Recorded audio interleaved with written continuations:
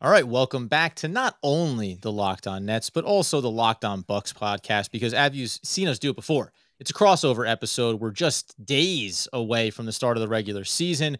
And what better person to get on with than, I guess, theoretically, our arch rival, Kane Pittman, host of the Locked On Bucks podcast, right? You, you bounced us out last season. It doesn't really matter uh, what circumstances happened for the Brooklyn Nets. We lost to you. You won the championship, or the, the Milwaukee Bucks won the championship and now we get to kind of scrap it up before the season gets underway. Great to connect with you again.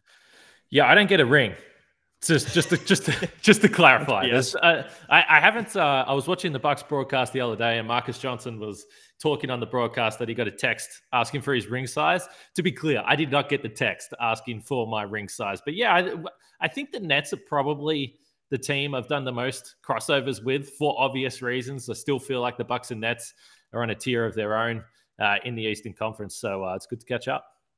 And Doug, yeah, well, Giannis gave you Giannis gave you a shout out, right? Didn't uh, didn't Giannis give you some kind of shout out? That that feels like that's like half a ring, right? Yeah, no, it's true. He he did uh, lobby the U.S. government to get me back in the country from Australia. So I mean, that that was better than a ring. Yeah, yeah, that's yeah. fine. That's fine. Voting for well, citizenship. Do, uh, How does that not work, right? go i mean going into the ahead, season it, it, looks like it looks like these two teams are probably on something like a collision course. Our our fans want to know about this and i think maybe this is probably relevant to bucks nation too. Uh, we'll just open up with this and then we'll move on to other relevant things. Do you, when you see the stuff happening with Kyrie around uh, around the nets right now i'm interested in other teams takes around what you know people in Bucks land think about watching this team like the Nets, which I think most people agreed were sort of prohibitive favorites going into the year, even with the way the Bucks ended last season. And then you see this sort of inner turmoil that happens that's sort of happening on the Nets side. We've only talked about it in the context of the Nets so far, but I just I, I do value sometimes these other outside of the Nets circle opinions around this. Like when you see this happening, is there this piece like, oh, things are crumbling here like that like or does it or does it not really is it is it not really germane to the way the buck season plays out well, I think it is if you project ahead to the postseason. I mean, clearly the reason why the Nets are by far the the overwhelming favorite is because they have three guys. Now, you can certainly make the case if they only have two of them, then they're still the favorites. But the point I always come back to, and I think Zach Lowe is the guy that always makes this. I always hear him bring this up if you have three superstars, not only do you have the overwhelming talent if everything goes perfectly, but you also have a little bit of insurance if you lose one of those guys. So if you cut back to two players, it does change the calculus a little bit, especially if you look at this Nets team and think, well, it's not like last year where Brooklyn made the in-season trade for James Harden. If you can't actually get anything for Kyrie Irving and he's just a player that is unavailable, clearly it does change uh, the outlook for the Nets. And then I, I, think the other point, just from a Milwaukee perspective, I've been saying this pretty consistently. Consistently, I think the Bucks are in the perfect position as defending champs because no one really cares about them. No one's talking about them. They go into the season with no pressure, really, and there's no drama. So I, I think that that's the big thing that actually brings me to the point that I wanted to make off the top of the Milwaukee Bucks won the championship last year. And Doug and I always say there's only one championship every season. Nobody really cares when you look back about injuries or circumstances that happened along the way. The Bucks won the championship, and yet you come into this year and there's still a handful of teams that maybe you put above the Milwaukee Bucks in terms of being title favorites. Do you feel like the Milwaukee Bucks are deserving of more respect in that regard? Do they does that team have a sense of, hey, this is good for us to fly under the radar and we'll just see you in the playoffs again? And if things play out the same way, we like our chances. I mean, every team feels confident, even if you were taking on a full strength Brooklyn Nets roster, that you can beat them in a seven game series. But it does feel like the NBA consensus is, yeah, you won the championship, but there were certainly other circumstances for a number of teams that got you to that point. Yeah, and that's that's kind of always the case, isn't it? I mean, I think back to a team like Toronto, and and I always said this before the Bucks won the title. For Raptors fans in particular, I would say, why would you care? Why would it even bother you if people say, yeah, but you won because of injury? Like it doesn't matter. Like you are the champion, and nothing's going to change that. So I, I think that there's a section of Bucks fans that don't really care about it, and then I think there is a section that are, are really bothered by the fact that they're not the favorites. But I think my big takeaway from media day and and speaking to these players is that I think they like it. I think they like going under the radar. They know that they're the champs. They're clearly enjoying themselves. The Larry O'Brien Trophy's been on a world tour the last few months, and uh, and they're having fun with it. But I do think that Uh, first of all, they they had to overcome playoff, and however it happened, they had to come overcome playoff demons that had haunted them the last two seasons. Now that pressure is off their back. They have the title, and I think that they're probably pretty comfortable with being. I think they're the third favorite. Looking at most most betting markets, mm. BetOnline.ag, I think I had them third, the Nets first, Lakers second. So in all honesty, uh, uh, if you talk about a team being disrespected, but they're still the third favorite for the NBA championship, it's like it's not the worst spot to be in. Third favorite, third favorite, yeah, being third in line for being the best yeah. team in the league, arguably. The other thing too, I, I, that I'm just curious about from uh, from your perspective, Coach Bud you said exercising some of those demons, right? Overcoming some of their playoff concerns. He obviously wins the championship. You get the coaching extension. All of a sudden, you move past this thing.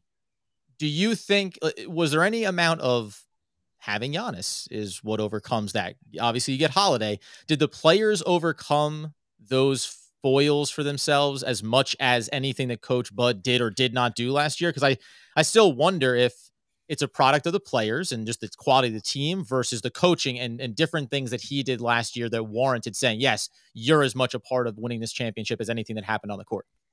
Yeah, there was a number of situations during that playoff run where Bud, everyone had decided that he's about to coach his last game of the Bucks, and I always laugh thinking back to it was during the second round against the Nets, and uh, Rick Carlisle just came on the coaching market, and everyone was saying, "Well, we need to can we can we fire Bud midway through this series just so we can lock in Rick Carlisle?" And it's obviously hilarious to think about now, but I think Bud does deserve some credit. I mean, clearly and this is always the case, you win NBA championships based on superstars and superstar performances, and Giannis clearly was special. But I think the one trend that we saw throughout last season was that Bud was more willing to adjust. He was more willing to experiment. In the postseason, he was more willing to play his superstars the minutes that they should be playing in the playoffs. Still not as much as what Kevin Durant was playing, but that was through necessity rather than anything else. But the other thing that I think stands out to me when you go back and you look at every single a playoff series, whether it was Miami in the first round or Phoenix in the NBA Finals.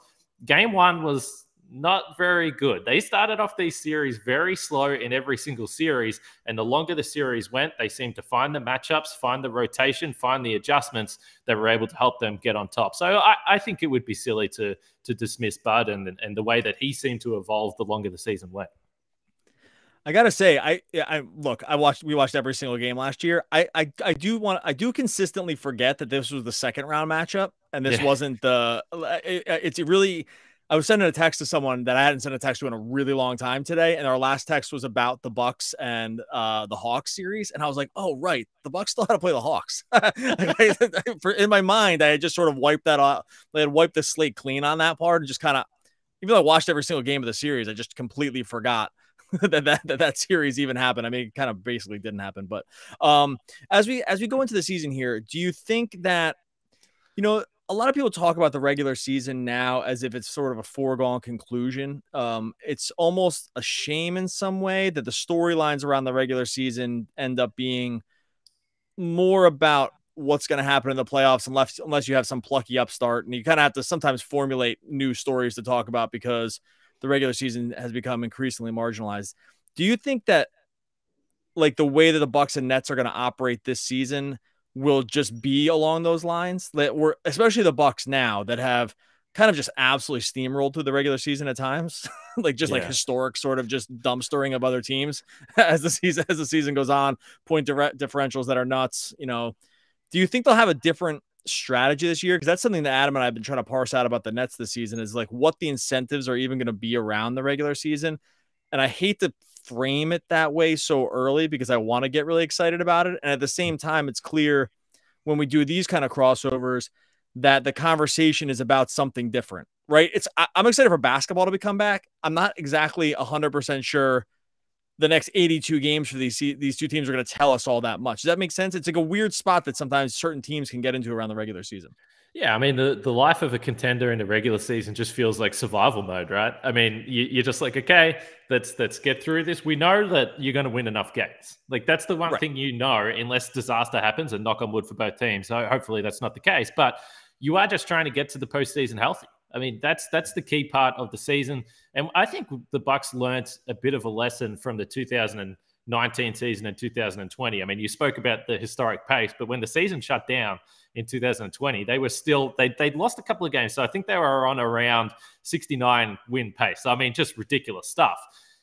And it didn't exactly pan out for them in the postseason. And I think they learned that you need to do you do need to have a little bit of adversity during the regular season whether that's uh, trying different things uh, different lineups experimenting a little bit. So last year I, I, think the fact that they were actually the third team in the eastern conference they didn't have home court advantage for the second round. Funnily enough they did in the conference finals again. That's the way that that worked out. And then they didn't have home court in the nba finals. I think they learned some lessons that you know maybe going uh, you know, balls to the wall every single night, Tuesday night in Detroit, winning by 50 points, maybe it's not totally necessary. So right. I, I, th- yeah. I, think you're right. I think you're right. That's well, that's the kind of what you're afforded by winning the championship, I think, too. Because I guarantee this was not a conversation that most teams would have prior to this happening for them, right? It's like the regular season tells you everything you need to learn before you've won the championship. Once you won the regular, you realize very quickly the regular season, um, it's fun and it means something, but it doesn't mean it, the stakes become very, very different. Uh, more on this conversation as we get into uh, how these two teams are kind of shaking out.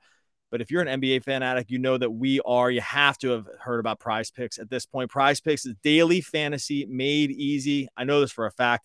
You, I, I love this stuff. I know you will too.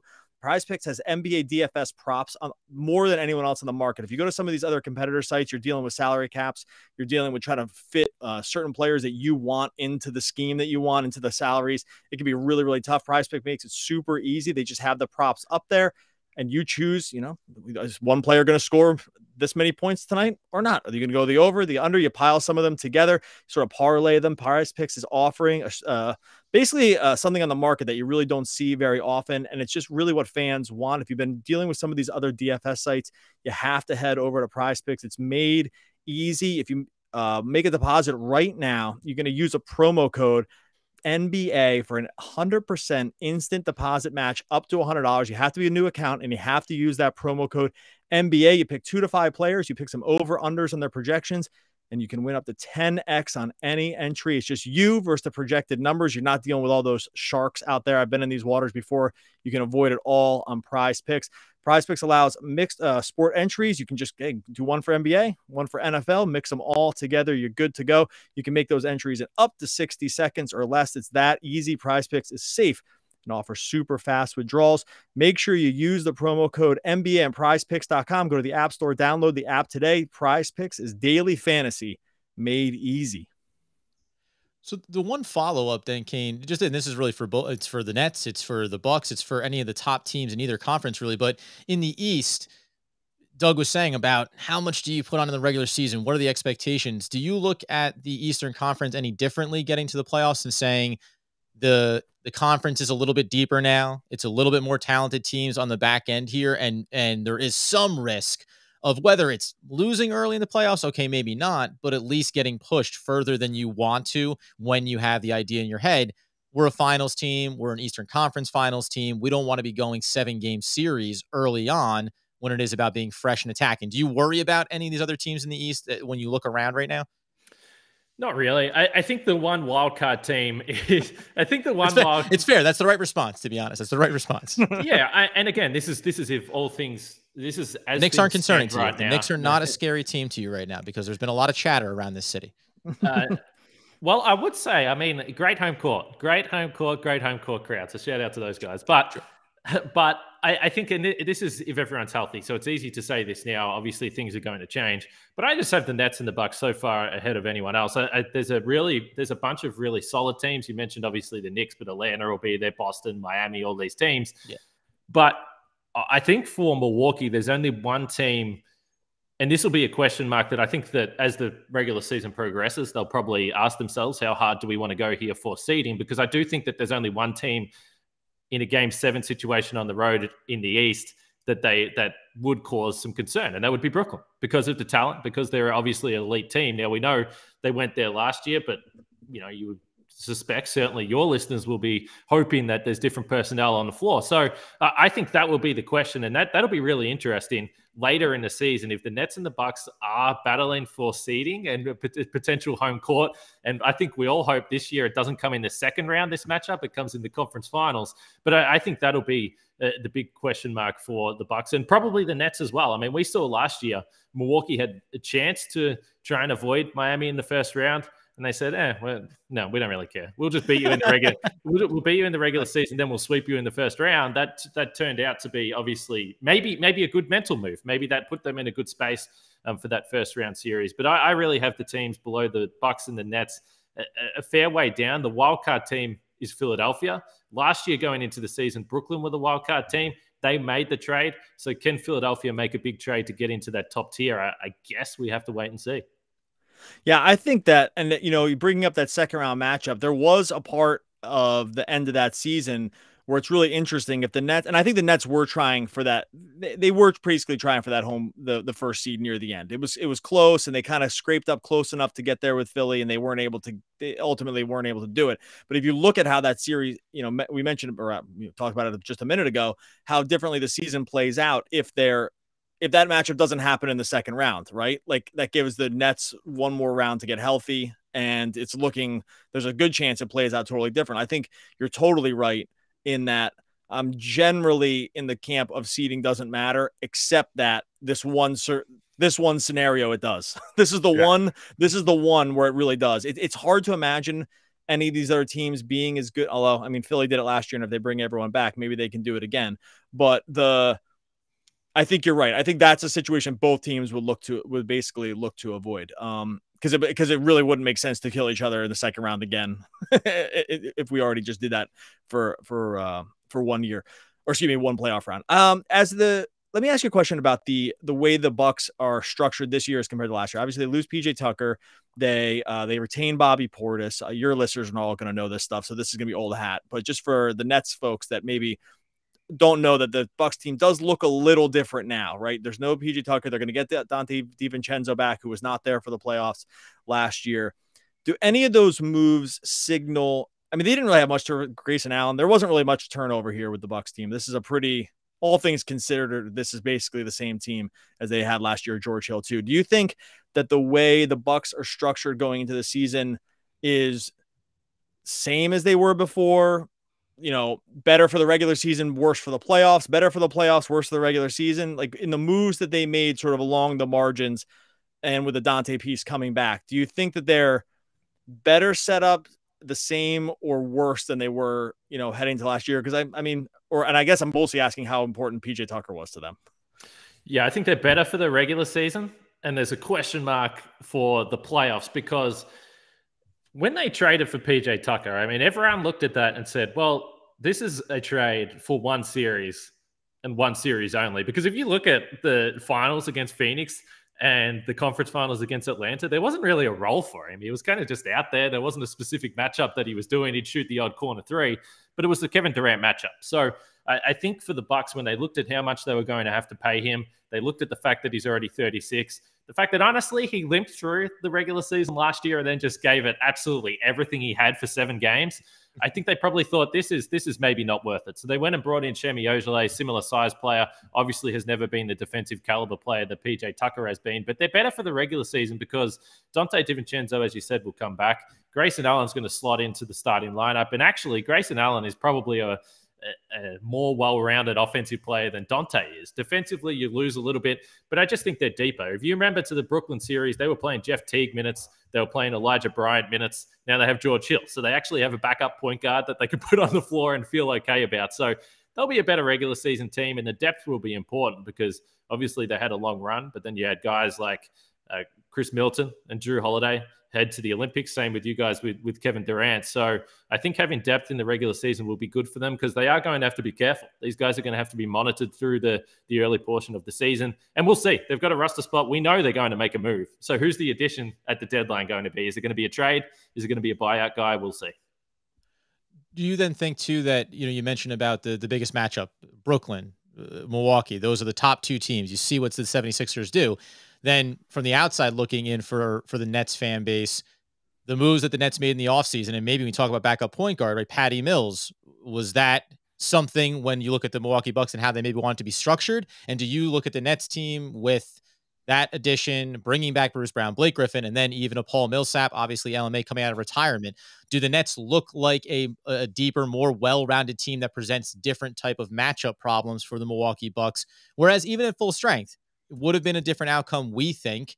And at the same time, the size and the length that was there for Milwaukee is what was going to present problems for Brooklyn no matter what last year.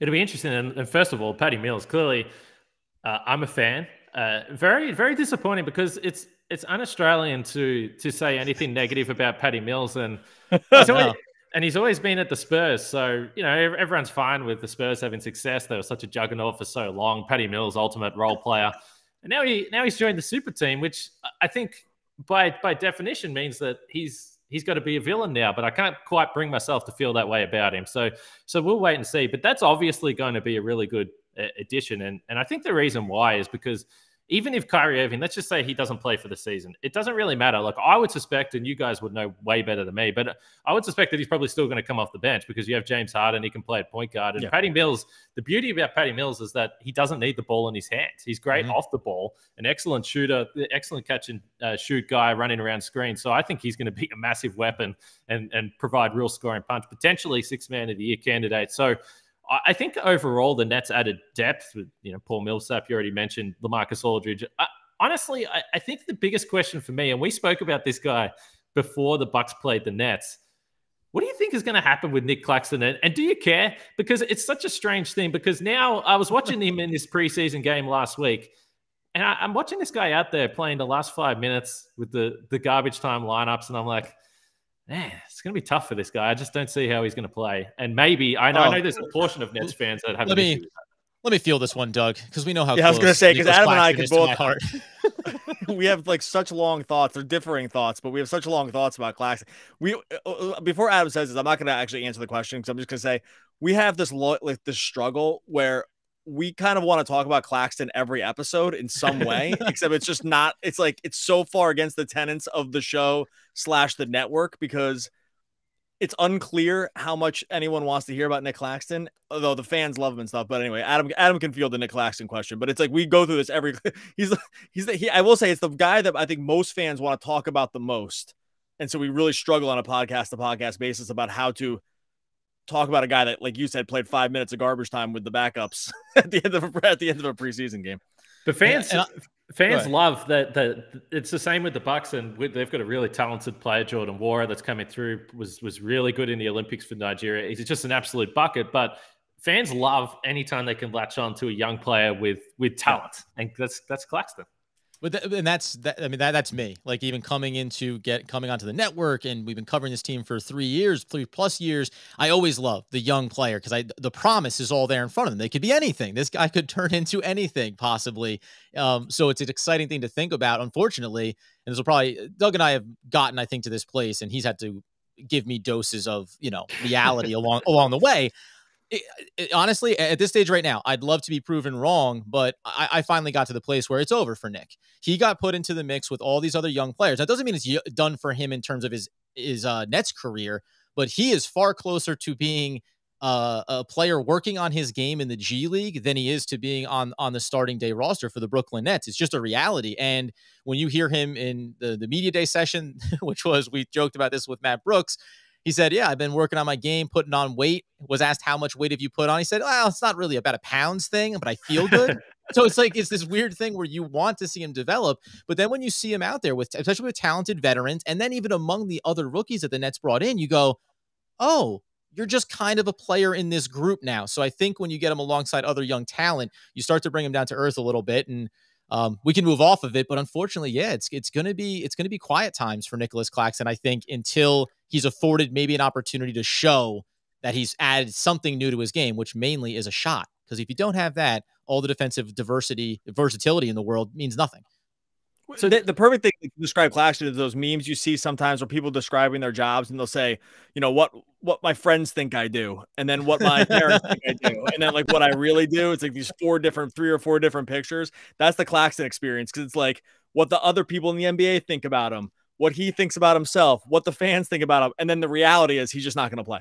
like everyone that everyone there's four different competing realities when it comes to Nick Claxton, and my strong inclination here is that uh that he is going to be about as far on the bench as possible.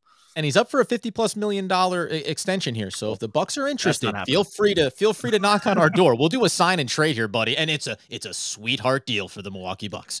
Listen, I was talking about this on Locked On Bucks the other day. There is always a young big guy that Giannis uh, really forms uh, an attra- attraction with in terms of their hard work and bringing them up and supporting them and, and ultimately dunking all over them at practice. We've had Thon Maker, we've had we've had Christian Wood, we've had Mamadi Diakite.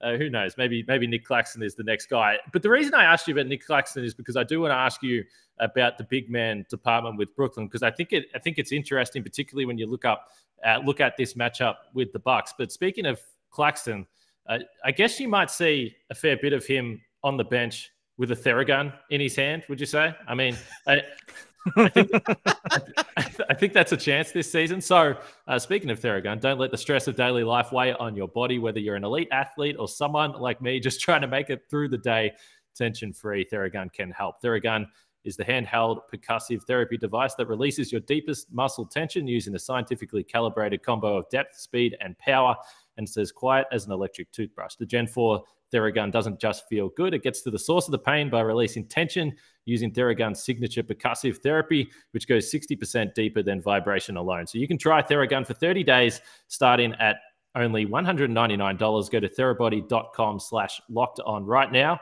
and get your Gen 4 Theragun today. That's therabody.com slash locked on, therabody.com slash locked on. Do you and guys? Of course, you could say. By the way, no, no, don't don't even worry about it, Kane. We're ready to go right, right into it here. As once he's done with the Theragun, what Nick Claxton's going to want to reach for is a built bar because mm-hmm. this thing's going to give him that little dose of protein that he needs to make it up and down the court more than twice without getting winded. And you can head over right now when you go on the website. We always talk about this. You know, Doug Norrie has to fend off family members from stealing these boxes when they come to the house. You've got the flavors like coconut, cherry barcia, raspberry. Me, this week, I always give you a sample. I say go with salted caramel. That's just where I'm at these days. Doug Norrie's a big strawberry guy. Don't let him deny that. Kane Pittman, I'm pegging you as an orange man. That's right. Don't even bother answering. I know it's the truth. And the good thing about it is when you get inside the stats on these bars, it's not just great tasting and good for you. They're healthy options. When we're talking about 17 to 18 grams of protein, calorie range from just 130 to 180, only four to five grams of sugar, and only four to five grams of net carbs. It's amazing flavors, all tasty and all healthy for you. Go over to built.com right now now and use promo code locked on, and you'll get 15% off your order. That's promo code locked on for 15% off at built.com. So we have, as we enter this season, and again, rosters could be subject to change as as we move forward. But if we scratch Nick Claxton from the list of potential Giannis stoppers on the Brooklyn roster, we're left with Blake Griffin, who, by the way, I think probably did the best job out of anyone in the postseason. It's crazy, but yeah. it's it's a fact. And look, they've seen a lot of each other. They've they've typically got pretty heated with each other when they've when they've played in Detroit and Milwaukee matchups there. Uh, then you obviously have Lamarcus Aldridge coming back in. You've got Paul Millsap. So you're really throwing the old man brigade at Giannis. Eh, eh, because this is the way that the Bucks. have. We've always looked at this with Philadelphia in years gone by. Okay, how do we match up with Joel Embiid? What are we going to do to stop him if we get a potential postseason? So when you look at the big man department, is do you feel comfortable with with the rotation you have there as it as it currently stands?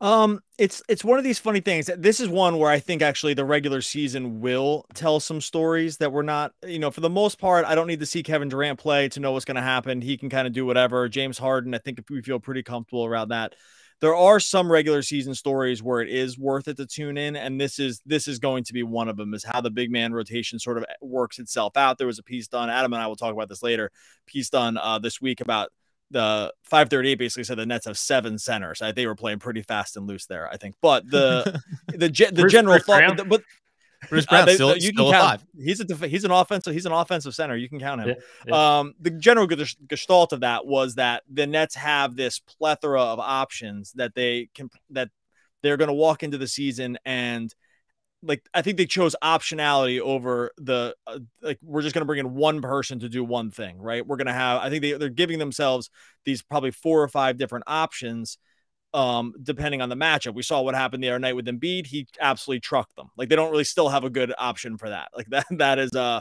that's not something that they seem either concerned with dealing with or are not prepared to. With the honest thing, I think that they did. I agree with you. Blake was a, an effective speed bump against Giannis and they, that's all you can really hope to do with him, right? Slow it down. Like, you're not going to stop him, but can you slow it down enough? Can you like get in his way enough? Do you have a wide enough body? Blake hit that. I think actually Millsap hits part, you know, deals hits some of that. Um, not all of it. Aldridge Chu, James Johnson, you'll probably see a little bit of him. Like James Johnson has some size and strength that, again, would you want to play him 40 minutes against Giannis? No, but can you get 15 minutes of chipping him for you know and have it work out to your advantage? Maybe. I think this is this is the long way to say they made a lot of these moves to probably start mixing and matching it during the season to see what looks right. And i don't actually don't think judging what we've seen in the preseason that they even know yet like what the exact right combinations are. Because we saw a lot of we saw some different combinations in the preseason. The Nets looked bad in the preseason. I don't really know another way to put it. Um, but the whatever. But I think that that is part of what the thinking here was. There's no good Giannis solution, really. The NBA doesn't really have one right now. Like he's a pretty, he's a total unicorn. But if we can throw enough different bodies at him, and we saw guys like Blake be effective enough, because if you can be effective enough and then have the offensive firepower, you are going to win a series against the Bucks like that.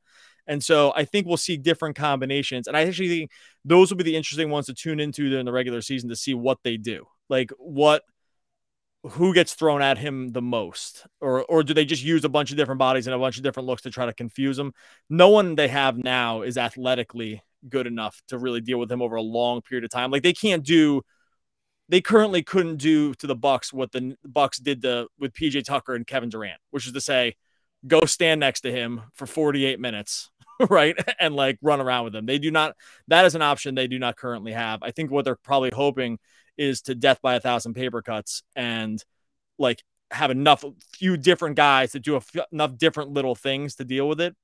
Because there's no, there's no person on the roster that that is a one for one comp. I don't, I don't see it. Maybe Adam sees it, but I, I don't see one right now. No, and by the way, because the, we, we just talked about that preseason game against Philly and saying there's certain players. You say an Embiid, right? You you, you look at, at the Joker and you say there's certain players that there isn't the answer to. And Embiid, this goes along the uh, sorry, uh, Giannis goes along the lines of what he accomplished last postseason, where everyone talked about, boy, this guy doesn't always seem to want to lean into the best areas of his game at the most opportune times.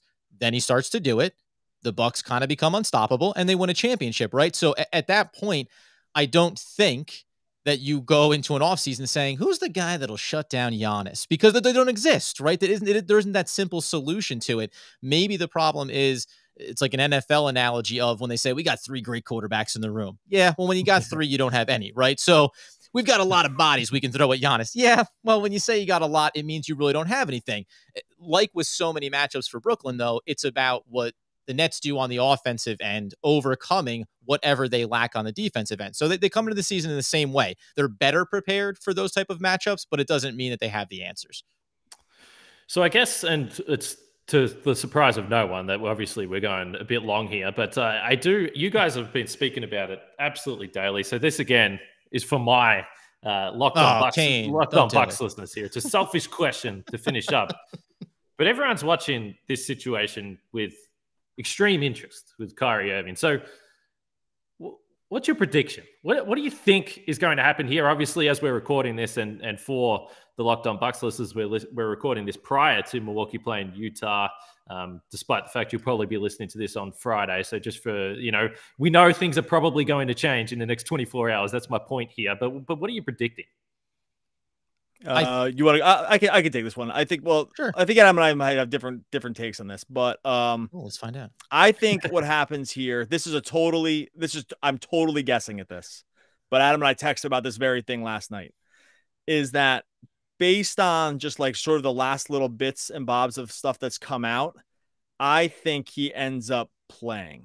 And I think he's going to sort of take an L on whatever the stance originally was and work it back into a different sort of talking point. You can sort of already see that happening right now. Is that like the the the talk around the vaccine specifically from his camp is starting to change based on well no, let me put it he no one he never said anything it's all made up he's never said as we as we record this Wednesday evening he's never said anything to the media at all so it's all been third hand sourced sources and quotes whatever I think if I were to again I'm not this isn't sourced personally I think he comes back and plays because this has sort of gone sideways. And um, I agree. Actually, and I think I, I, I, okay. I agree. I agree. and Doug. I think yeah, they'll just they'll come up with some other like you already saw that the the the, the Shams Charania thing about standing up for vaccine um, hesitancy around you know the workplace and stuff like that. Like it was already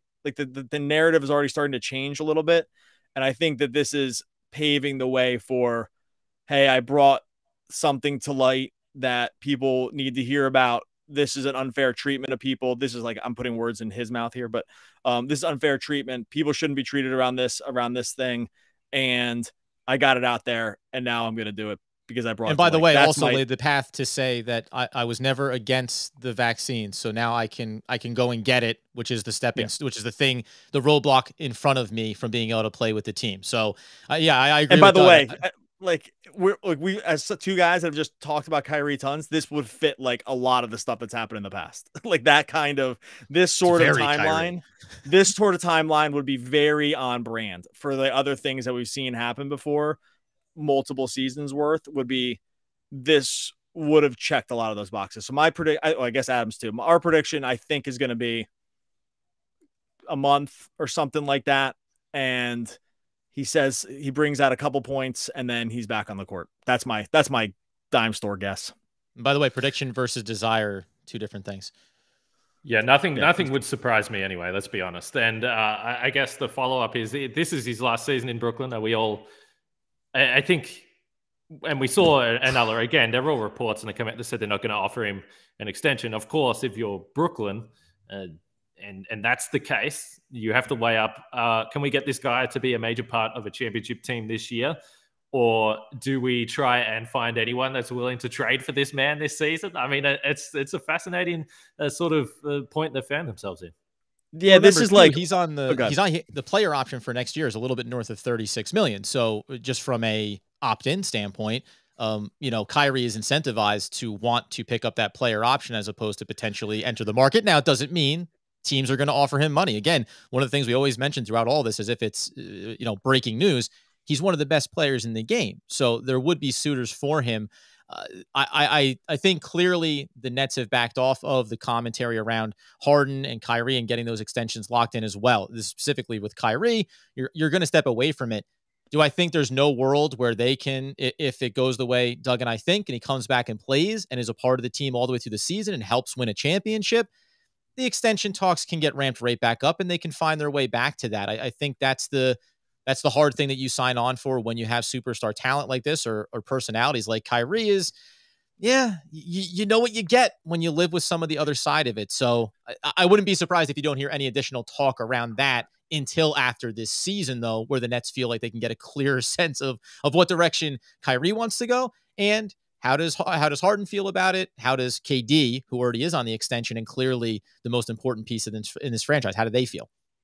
And like, and, and just to actually paint this in in a in a way that Bucks people with I think see it too is like the thing that's happening in the moment is rarely the thing that happens forever, right? So we talked about at the beginning of the podcast that Coach Bud was probably a toe away from being fired, right? Like a, a Kevin Durant big toe uh, from be, ever being on the Bucks again in, uh, as a coach and then is now a coach for a long time, right? Like it just it, things can change so quickly that I've tried at least, and maybe I don't know. I think maybe just talking about basketball long enough is that I tried to really slow down my the hot take piece of it because I'm like it just doesn't take much for it all to change immediately. These guys are wired totally differently. They are just they're professional athletes. They no most professional athletes, they're one of their, their best skill of all is not being affected by the thing that happened the day before. Like it be by being able to move on with whatever happened the day before, good or bad, and just move into the next day and do it. And like I think sometimes it's easy as fans to forget about that because it seems like in the moment the sky's falling, and then you just get a month later, it's like, oh yeah, he's back on the court, and everyone loves each other again, and they're winning games. Like it just really can change that quickly. By the way, this is me glass half full. It could not happen like this. like it, he, we could be talking, we could be in June and be like, man, he's out of the whole season. This is nuts. But I, I do try to remember that things in the moment that seem like they're certainties, especially in basketball, it doesn't take long for the the whole narrative to change pretty quickly. So I'm really hoping that's what happens. In that vein, Kane, how long before you expect Giannis to request a trade? Just to yeah, I, I listen. It, it's funny. I mean, the extension has only just kicked in this season, and when we were talking about it at the start of uh, last season, one of the points that we were you know, making is that this is fantastic. Uh, that he signed the extension. Obviously, great for the team. It takes pressure off them. Great for the city. Great for the fans. Um, but it doesn't mean that he can't request a trade. Now, I think you know, winning a title before that extension even kicked in. Um, certainly, probably the best way that uh, that they could have could have uh, followed that signing up with. But yeah, it's it's funny. I mean, I think. Can I ask you? I mean, on a serious question, because uh, from the outside, everyone says that Giannis is that unique type of superstar personality that wants to stay with the franchise, that feels comfortable. I mean, is that legitimate, or is it to your point? Like, yeah, I'm that kind of guy, and I want to stay here as long as we're a really competitive team and I can win titles. Like, there is a there's a fine line there of being generous with your decision making versus yeah if the team starts being middle of the pack in the east then maybe i don't want to be here.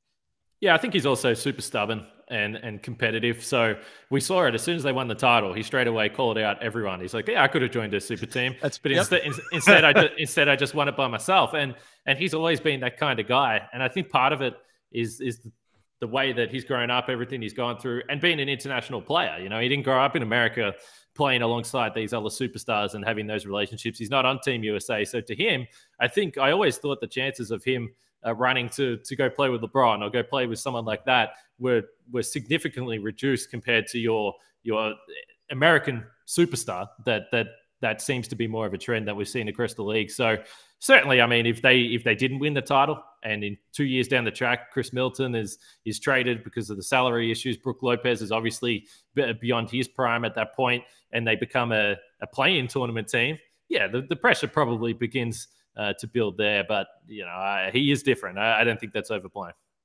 And and I All will right. send oh, you Kyrie Irving for Giannis straight up. I'm just I don't have all the connections, but I'm just saying, if you feel like it's the smartest thing to do ahead of the season, we're willing to commit to Who that. says no? All right. This has been awesome. Kane Pittman, Locked On Bucks. Uh, we're Locked On Nets, depending on what feed you listen to. I say it for both of our feeds here. Subscribe to the YouTube channels, the Locked On Bucks YouTube channel, the Locked On Nets YouTube channel. Make sure you hit subscribe, try to boost those numbers up. Every single episode going up on both feeds.